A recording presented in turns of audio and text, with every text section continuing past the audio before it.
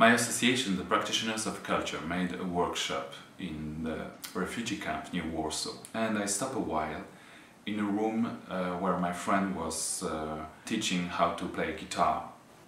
I took a series of photos.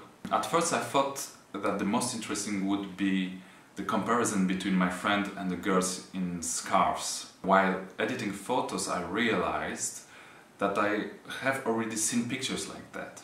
They are about getting along despite differences.